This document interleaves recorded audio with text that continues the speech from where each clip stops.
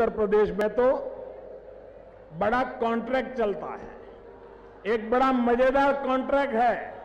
आपको मालूम है कौन सा कॉन्ट्रैक्ट है? बताओ। बताओ। मुझे बताइए, जब मायावती जी की सरकार थी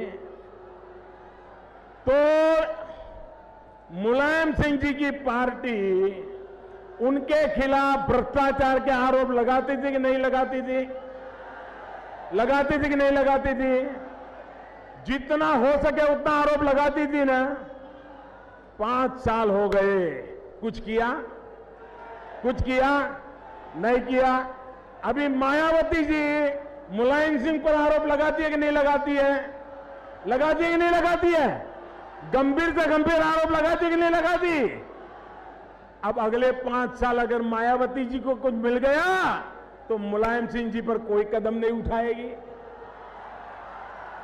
तो उनकी जुगलबंदी है। उनकी जुगलबंदी है। पाँच साल हमारी बारी, पाँच साल तुम्हारी बारी।